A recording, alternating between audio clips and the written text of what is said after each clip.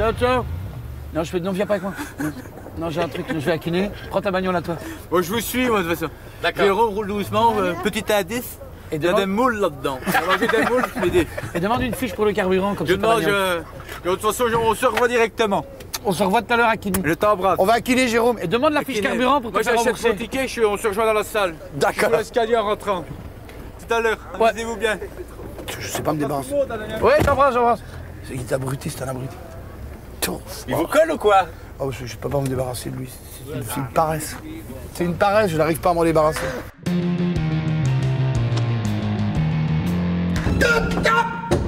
Tu vas réveiller Léopold Reviens Il est partout et de tous les coups. Autant dire que pour choper Benoît Poulvourde en tournée promo, il faut se lever tôt.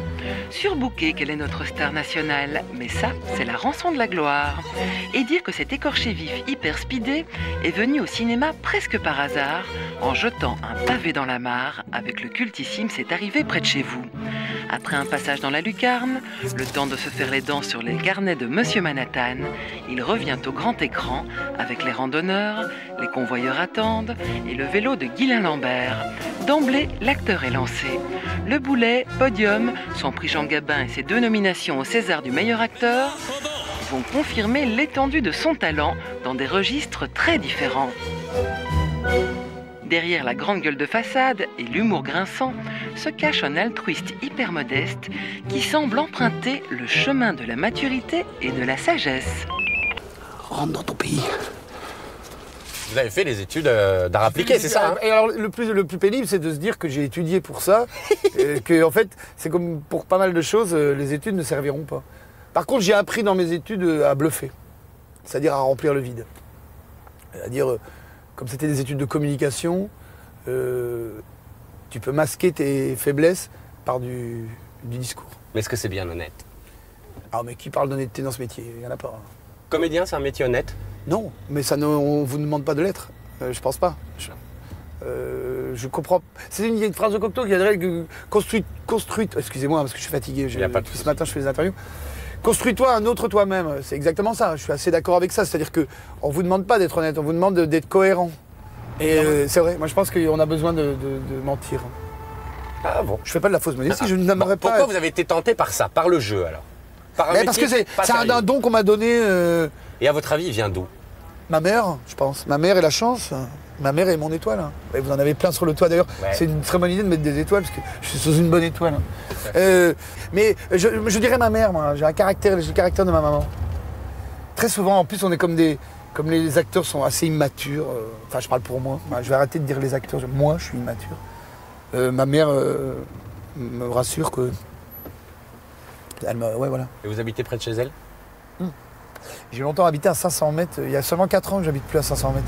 Ah ouais. Maintenant, j'habite à 5 km. Ça, vous vous émancipez Ouais, je me coupe des. Il reste des bouts de cordon. hein. Émancipation 46 ans, je suis toujours au cordon ombilical. hein. Non, je fais quand même des progrès. hein. Putain, je dois pisser comme un diable. On y va là.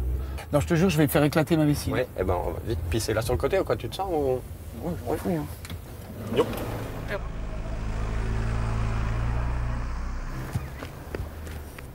Est-ce que je suis toujours sur le micro Parce qu'écoute celle-là. Oh. Ah, ça, c'est l'élégance. Ah. Tu vas voir que je vais me faire choper par les flics. les flics étaient là. tu vas voir que je me fais choper par les flics. Attentat à la pudeur. Et Ça serait quand même le comble. On y va. Allons-y, mon Parce que bébé. vous êtes attendu, hein il faudrait pas que je serre des mains parce que je viens de tenir ma bite. J'ai intérêt à donner des bisous. C'est bien ça. Pardon, tant pour moi. C'était un bon moment, merci hein, Pascal. Jérôme, Excuse-moi, alors je, je- je- je t'appelle Pascal depuis le début.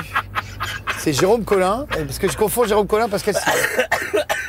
Pourquoi tu me l'as pas dit dès le début mais non, tu m'as appelé Jérôme tout à l'heure. Non, non, je te jure, tu, tu regarderas la manche, je t'appelle Pascal tout le temps.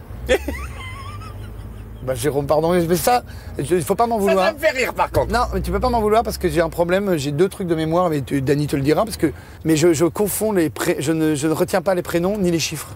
Non mais aucun souci. Mais par contre, j'oublie jamais un visage. Génial. Merci beaucoup Benoît. Merci beaucoup, Jérôme.